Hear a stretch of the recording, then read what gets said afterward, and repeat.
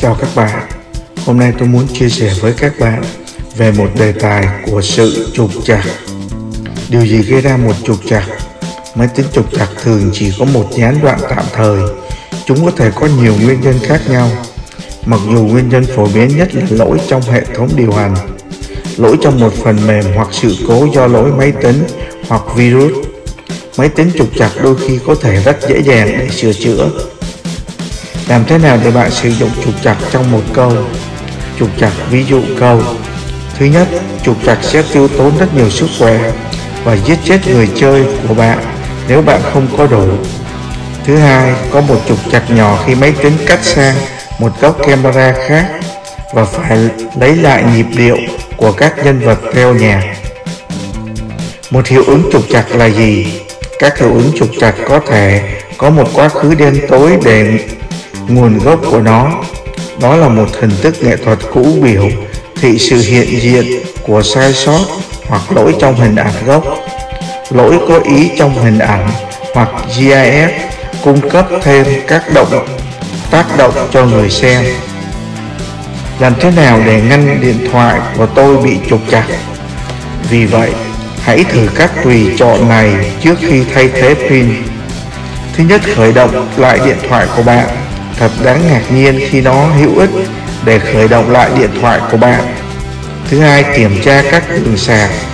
Thứ ba, rồi sao? Thứ bốn, khởi động lại. Thứ năm, để thiết lập lại. Thứ sáu, độ sáng tự động. Thứ bảy, tắt wifi.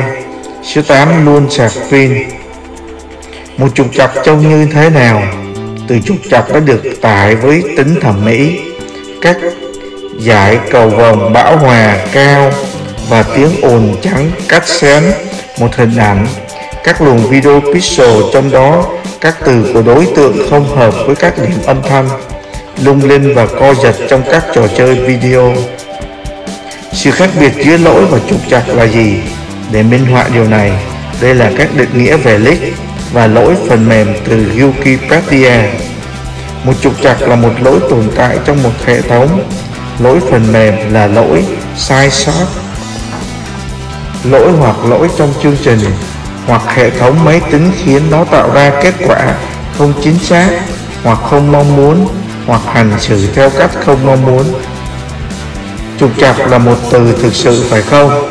Bạn có biết không?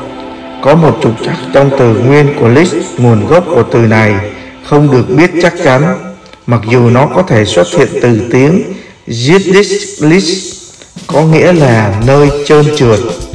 Lít bắt đầu xuất hiện bằng bản tiếng Anh vào những thế kỷ 20 liên quan đến sự đột biến ngắn ngủi bất ngờ của dòng điện. Trục trặc trong ma trận có nghĩa là gì? Trong phim, những trục trặc trong ma trận là khi ai đó trải nghiệm đề gia vu, cảm giác khi họ đã thấy hoặc trải nghiệm điều gì đó hai lần.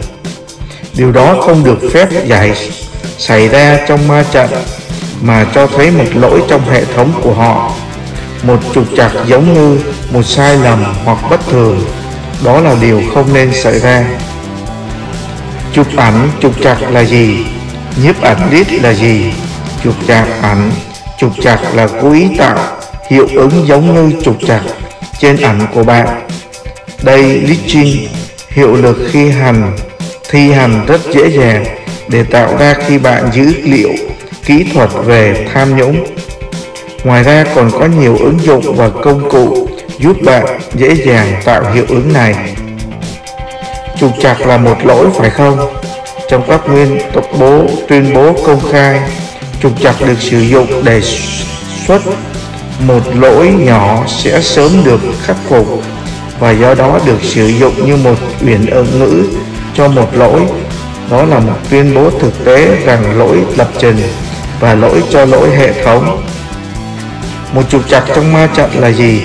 Trục trặc trong các câu chuyện ma trận là tài khoản trực tiếp của một số sự cố nhỏ nhưng khó hiểu, không có lời giải thích hợp lý.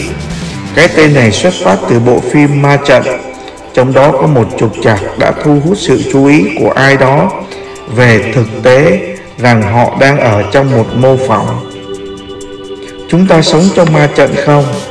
Nhiều nhà khoa học và triết gia vẫn nghĩ rằng chúng ta đang sống trong một mô phỏng. Trong ma trận, nếu Neo nhận ra anh ta có thể bẻ cong mô phỏng mà anh ta đang sống, vũ trụ ma trận xoay quanh khái niệm triết học rằng thực tế của chúng ta có thể không có thật. Nhớ subscribe hay đăng ký để xem video kế tiếp. Cảm ơn.